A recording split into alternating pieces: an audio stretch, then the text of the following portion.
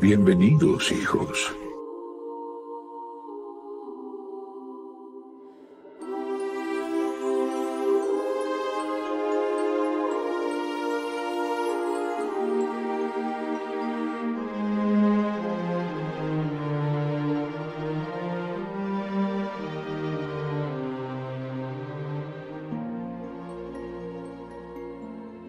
Edmond, Lucy y su primo Justas llegaron a una superficie con hierba, una enorme extensión de hierba muy corta, casi al mismo nivel que el mar de plata, y extendiéndose en todas direcciones sin una topera siquiera. No obstante, entre ellos y la parte inferior del cielo, había algo tan blanco sobre la hierba verde que ni siquiera sus ojos de águila podían contemplarlo. Se acercaron y descubrieron que se trataba de un cordero. Vengan a desayunar, dijo el cordero con su voz dulce y tierna. En ese momento, advirtieron por vez primera que había un fuego encendido en la hierba y pescado asándose en él. Se sentaron y devoraron el pescado, hambrientos por vez primera desde hacía muchos días. Y fue la comida más deliciosa que habían probado jamás. Por favor, Cordero, dijo Lucy, ¿es este el camino al país de Aslan? No para ustedes, respondió el Cordero. Para ustedes la puerta al país de Aslan se encuentra en su propio mundo.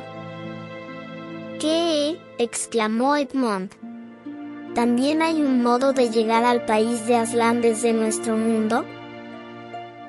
Existe un camino hasta mi país desde todos los mundos, dijo el Cordero, pero mientras hablaba, su manto nido, se transformó en rojo dorado, y su tamaño cambió y se convirtió en el mismísimo Aslan, elevándose por encima de ellos, a la vez que proyectaba haces de luz desde su melena. Aslan, dijo Lucy, ¿nos dirás cómo entrar en tu país desde nuestro mundo? Se los diré tantas veces como haga falta, respondió él. Pero no les diré lo largo o corto que será, únicamente que se encuentra al otro lado de un río. Pero no teman, porque yo soy el gran constructor de puentes.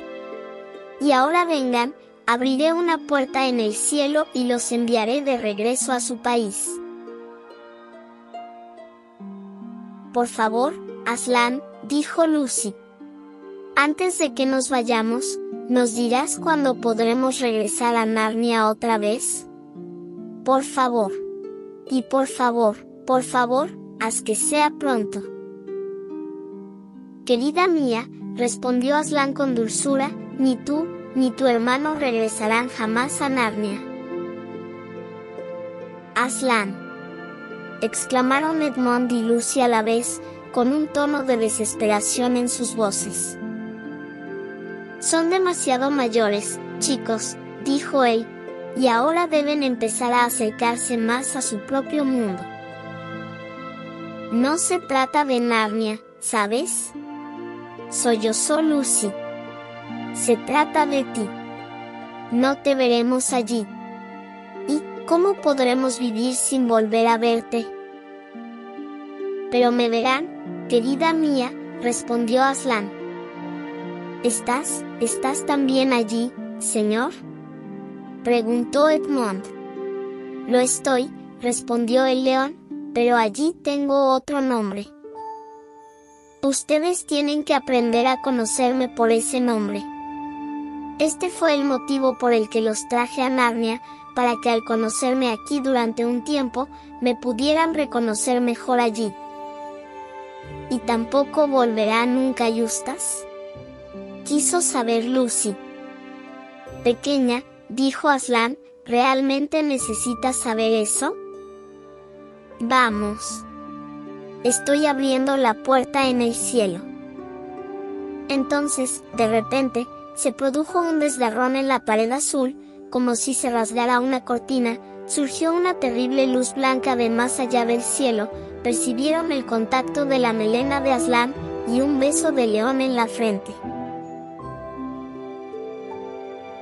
Y a continuación, Se encontraron de vuelta en el dormitorio de la parte de atrás de la casa de la tía Alberta, en Cambridge. Solo hay dos cosas más que es necesario contar. Una es que Caspian y sus hombres regresaron sanos y salvos a la isla de Ramandu. Los tres lores despertaron de su sueño.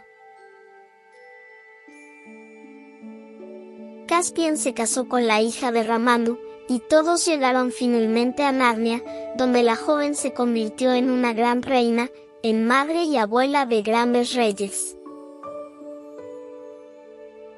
La otra es que, una vez de vuelta en nuestro propio mundo, la gente no tardó en comentar lo mucho que había mejorado Justas, y cómo, es increíble que se trate del mismo muchacho. Todos lo decían excepto la tía Alberta, que declaró que se había vuelto muy vulgar y pesado, y que sin duda se debía a la influencia de aquellos niños Perencie.